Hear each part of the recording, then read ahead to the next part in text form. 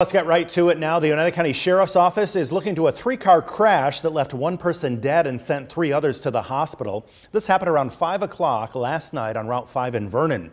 Investigators shut down Route 5 from Skyline Drive up to Route 26 for five hours. Investigators say 60-year-old Mary Kay Neville of Clinton hit a car driven by 77-year-old Viola Ducati of Canastota head-on. Ducati's passenger did not survive, and that person's name has not yet been released.